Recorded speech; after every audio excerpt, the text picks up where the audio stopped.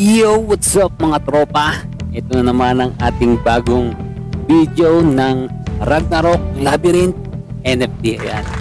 Siyempre, kung bago ka lang dito sa ating channel, ay subscribe nyo na yan. At siyempre, nyo kalimutan i-like at i-share tong ating video para mas malupit. Ayan. At siyempre, ito, ano nga ba ang ating topic sa ngayon? So, tulad ng nakaraan, kung napanood nyo yung ating gear trans, eto naman ang ating video ngayon. Hero trans. Sakto-sakto. Kasi dahil nakapag level 85 na yung ating base level, nakikita nyo. Ayan nga. Para eto. Yan. Nakita nyo naman. Kaya pwede natin siyang gawin. At syempre, eto. Ayan kung nakikita nyo yan may mission kasi ako na mag-trap ng uh, no, fragment of Valkyrie Valkyrie's power ayan. So yun yung requirement para mag uh, makapag ano, tawag tayo transcend or revert yun yung uh, ano eh nostalgic na tawag dyan yung revert parang din sa Ragnarok ko unang narinig yung revert na process na yan. So pakita natin. Dito yon ayan sa trans. So ayan. Level 85 tayo. Dahil sabi ng iba sabi nila is level 85 daw ang pinaka the best na level na kaya naka mag top trans or magre-revert So explanation daw nila is yung pagdagdag ng ano ng stat points dito. So hindi ko siya inaral talaga. So actually itong video na to is para lang napakita ko yung actual yung pag-revert natin dito sa aking uh, character. Ayan. Pero sabi nila, ganun nga daw, dahil susunod daw, kunyari 86, 87, is by one na lang daw yung add ng stats dyan. So siguro nga yun ang explanation nila para mas tawag dito ano nila yung ah uh, ano ba yung term doon na wala sa isip ko? Para matipid nila yung ano yung oras para sa ano. Nagkasabi natin so ito nga pala requirements natin is ito ayan pagka-trans tick natin yung trans na yan. So may required na uh, fragment of Valkyrie's power. Ayan ano nga ba yan, saan siya makukuha, paano siya gawin. So, syempre, sa craft.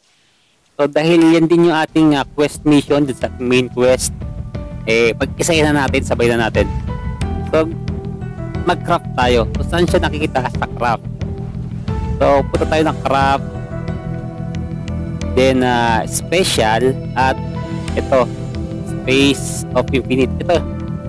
Ayan. Ito. So, kailangan ng Ayan, Shattered Magic Stone which is makukuha siya sa ating uh, Infinite Dungeon. So, saan yung Infinite Dungeon? Andito siya mga idol. Space of Infinite to be perfect. Ayan. So, halimbawa, kanadapan natin itong si Goblin Leader. So, kung kasama ka sa top 3, mas malaki makukuha mo kung nag, basta nag-participate ka lang, may makukuha kang 11 pieces. Kaya, ayun. So, ipon lang hanggang maka 400. Yun ang requirements doon sa materials ng ating uh, crafting. So, break tayo doon. Sa po doon, kailangan din natin ng limang pirasong star crystal. Siyempre, siya siya makukuha. Sa crafting pa rin, kailangan natin dito uh, uh, requirements para sa star crystal is limang star crumb at para makagawa sa star crumb ito kailangan mo ng jelly at stardust. At ang stardust makukuha sa pagdudurog sa pagdudurog ng gear sa mga hindi mo kailangan gear. At syempre jelly drop yan ng monster Okay? Nabibili sa, secret shop. Okay, and so on. Ayan. So, sa mga naguguluhan sa crafting, meron tayong video para dyan. Pwede nyo balikan. Then, proceed ulit tayo. Balik tayo dito. Special. Okay, so, i-craft na natin to. So, craft 100% sure naman niya. Kaya di tayo magpipil. Hindi masasayang. Kita nyo, ayan. Success rate is 100%. So, craft na natin yan. At, ayun. Boom. So, success. Meron na tayong fragment of Valkyrie's power. So, po sinabi ko sa inyo, recommended nila, sabi nila, sabi nung mas ma husay sa, sa larong to. Marami talaga expert talaga na yung mga pro player dati nung mga naglalaro nitong game na to. Yung original, yung hindi pa siya NFT version ay mas alam nila yan. So tayo is nakapaglaro tayo dati pero konti lang. Hindi ko naman siya kinarir dati kasi mas naggumabad ako sa uh, Rocks sa uh, Ragnarok X. Okay. So anyway, meron na tayong fragment.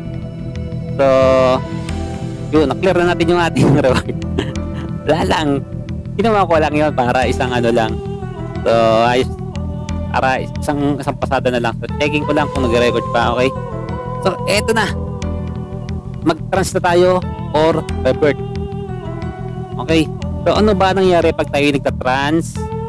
Sabi dito is uh, meron tayong makukuha na ito to kukuha na natin tong stat points na to dahil na nakapag-report na tayo dati doon sa una sa tutorial dati so ang basta ang total na yan total trans stat points is 64 sabi 64 so ibig sabihin yan pag tayo yung nag-trans back to base level 1 tayo. So, 85 tayo, magiging level 1 ulit tayo. So, hihina tayo. Oh, hihina tayo. Pero, take note, hindi magagalaw ang job level natin. So, paano maibabalik ang ating base level? So, mag-farm ka lang ulit, mag-grinding ka, magle-level up pa dyan. Okay? Pero para mas mabilis, eto, kailangan bago, bago tayo mag-revert uh, or mag-hero trans, dapat meron tayo nito para mas mabilis yung ating uh, pagbabalik level. Ayan. So, ito. Mas maganda meron tayo nito. Experience bag. Ayan. Experience dungeon bonus. Kala ko bag. Pero bag nga yan. Yan. Bag containing bonus EXP or experience yan. So, saan siya nakukuha? Sa mga pro, veterans, alam nyo na to.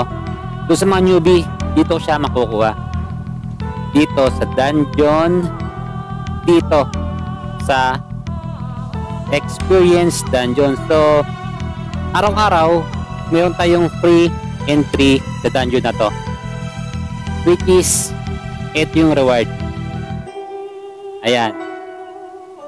Kaya makakaipot tayo niyan ng araw-araw. Ayan. So dahil may balak nga tayong mag-trans, hindi ko siya ginamit, hindi pong ko lang siya hanggang sa nakaipon nga tayo ng 41 pieces. Ito pa. Meron din tayong naipon.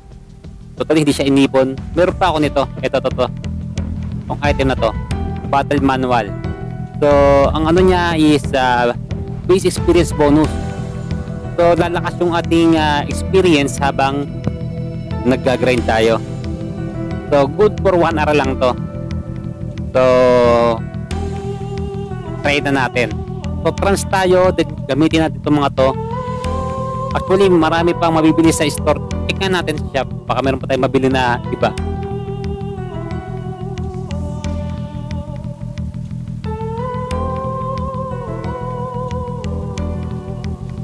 Actually, mukhang wala. So ito, benta bibili pa lang nga pa nito. Bili na natin. Sayang yan. Uli wala. Oh, yun na yun. So, pag-trans na tayo mga tropa, revert. Ito naman talaga yung ating uh, topic sa ngayon. So, click na natin tong trans. Ayan o, oh, required number is 1. Then, transcending will reset level to 1 and gain, and gain an additional ability point. Do you want continue? So, yun nga yun. Ang makukuha natin is yung stat points natin Then, pag tayo bumalik, parang, anong tawag doon? Magki-carry over siya. Hindi naman yung buo ha. Ito lang yung stat points na makukuha natin. Itong plus 51 na to. Or ito yata. So, hindi ako sure ha. Pero tingin ko ito yun. Yung plus 64 to.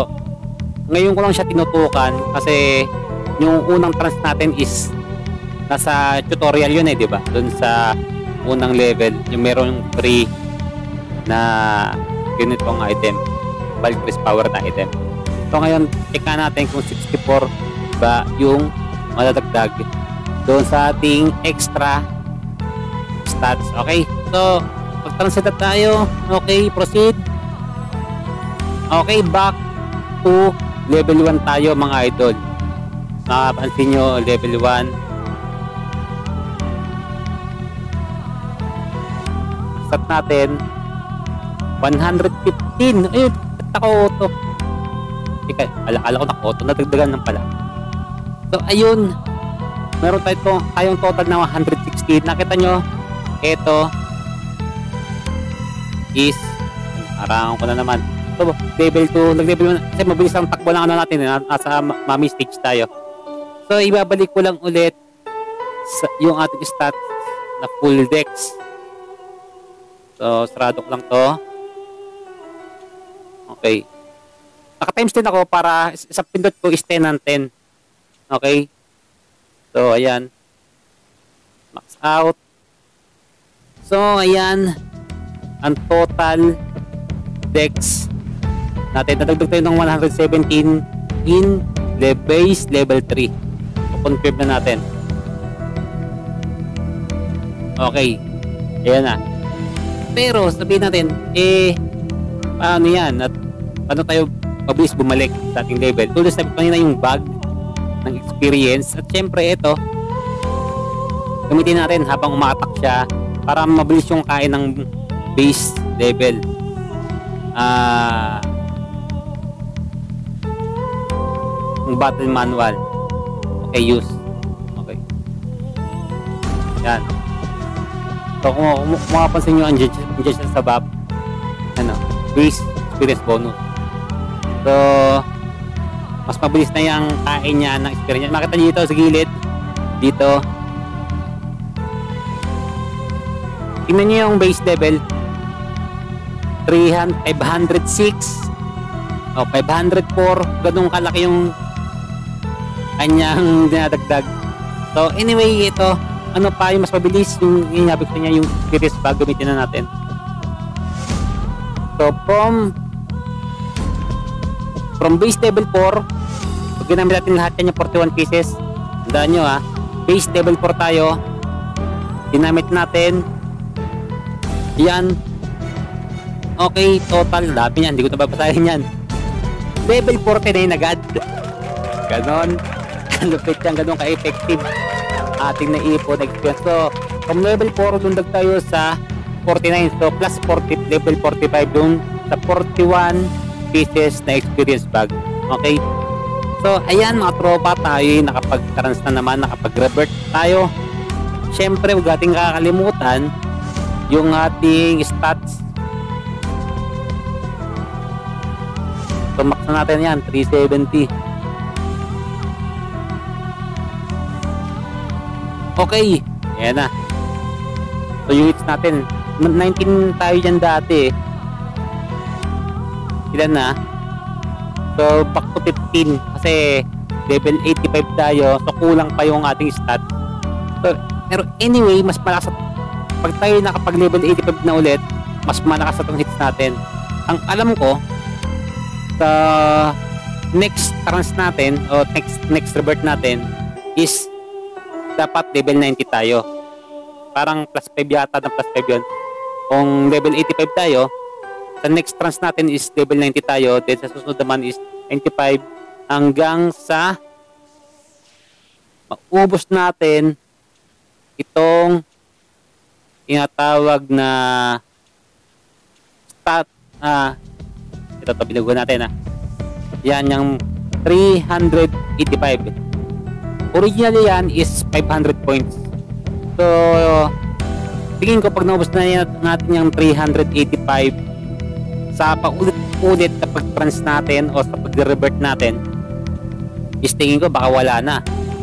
Baka wala ng trans. Hindi na na kailangan mag-revert. Kung di sila magkakaroon ng update mali natin magkaroon ng update. Nagdagdag sila ulit ng another 500 so anyway ayan tigil naman natin yung kalokohan na yan. So at least ayan nakapag-trans na tayo. Mas malakas na yung character natin. Pag narating na ulit natin yung ating original na level kanina. So ayan sana nakatulong doon sa mga newbie sa mga veterans, mga pro. Alam kung nagawa nyo na to dahil medyo late nga tong character kong ito so ayan kahit paano sana nakatulong pa rin sa mga newbie. The best way na ah, the best level ng first uh, revert is 85 then next time is 90 then plus 5 ng plus 5 okay? So ayan yun lang yung isi-share ko ngayon. Sana kahit paano may naitulong sa inyo. So guys hanggang dito na lang. See you next time and bye bye